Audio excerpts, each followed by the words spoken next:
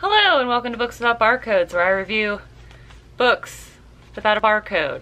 If you didn't know, barcodes were mandatory on all printed matter uh, April 1978. So that means I'm reviewing a book printed before 19 April of 1978. This book in particular, Emphyrio by Jack Vance was printed originally in hardcover in 1969. This is the first paperback edition from Dell, so this was printed in 1970.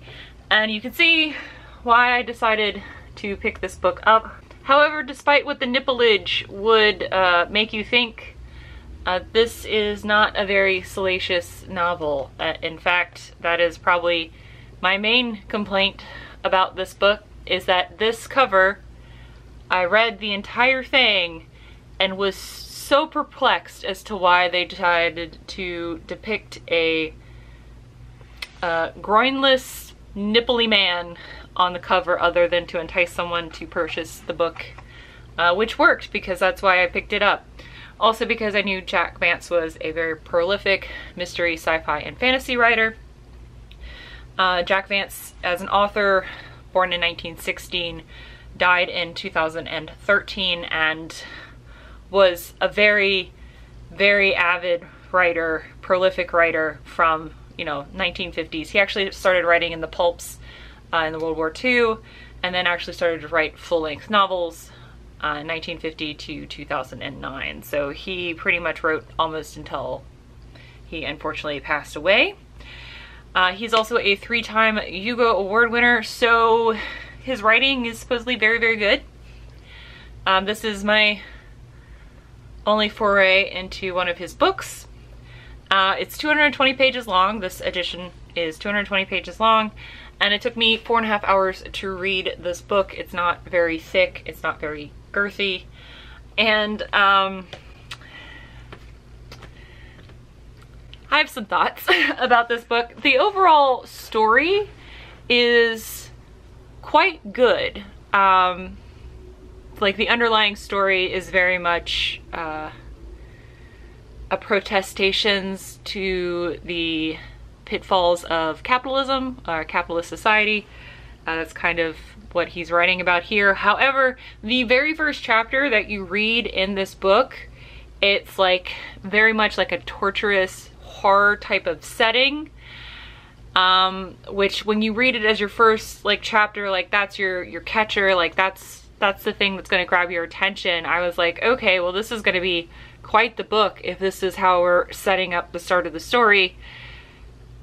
And then it went into long world building exposition that wasn't, in my opinion, long enough. There were also some formatting choices that he made in this book, which messed with me. I don't know if it's just personally as a reader. Um, the formatting for me was an interesting decision. Instead of uh, doing more exposition and world building in chapter format, like talking about certain systems, uh, social systems within the world that he is building in Emphyrio, he instead makes footnotes where he will talk about something and it's this specific thing. He'll mention it in casual writing and then when you get down to the there'll be a little asterisk that you barely notice. It looks like maybe something might have just like been off on the printing. And then at the very bottom of the page, he expounds in a sentence what it is he was talking about. So if you're just reading from top to bottom, uh, especially if you someone like myself who reads very quickly, you read the whole thing and you're like, wait, what a second? I don't understand. And then you realize, oh, this is a formatting choice. Let me read the sentence where this is referenced and then I can read this aside and then go back down and now I understand what is going on. I personally would have preferred him to expound upon the social structures that he decided to instead footnote uh, for brevity's sake, I guess. I'm not quite sure why, uh, but it is only a pitfall in the beginning of the book. So in the first like third of the book, he does this sparingly, but still noticeably to the point where it was a little bit like, what is happening? And then the other formatting choice that was made that also threw me off in my reading of this book and subsequently my enjoyment is as I mentioned, the very first chapter is a, a torturous, like, it's a really good first chapter to get you to want to read this book. Um, but once I got towards the end of the book, I didn't know where that scene went. You know, sometimes when you read, like it's a, it's a typical theme that writers have where they put like something in the crux of the story at the very first chapter to get you to want to read it. And, you know, by the time you get to that part of the story, it's very like mentally you know where that part of the story is supposed to lie that grabbed you at the beginning this one, I had to reread a couple of the chapters to try to mentally, like, acrobatically figure out where the heck that initial chapter went in the book. like, I was like, okay, could it fit here? Where is this at? Because it's like, because he made that first chapter in there, he like stopped abruptly in one scene and then started abruptly in another scene and that is where that chapter is supposed to go but there is not really enough uh, context clues at the end of one chapter and the beginning of that other chapter that tells you that that's where that first chapter is supposed to go. It was very frustrating when I got to that part and also kind of like made the climax of the story uh, a little bit less enjoyable that's some um, phrasing there, but that is how I felt. It was just like, wait, I had to start over and figure out where that went and I did not enjoy that and uh, wish that that had not been a thing. Also, again, we're gonna go back to the nippleage here. Like you would think this might be a very sexy story or a sexy man or something, but no. In fact, the female characters in this book were perfunctory at best. They they just feel like they were in there as mild character devices for the main character. It was legitimately, there was a sex scene, but it was the most chaste sex scene I have ever read, where it was just like, well, I know you expect me to write them having sex, so here it is, okay, bye. And then it's just, this man had no sex drive, which is fine, you know, there, there are plenty of good literary works where the character is completely asexual. There's nothing wrong with being ace in general. It's just that this cover and the first chapter uh, make you feel like that's not going to be the case there. And then you are just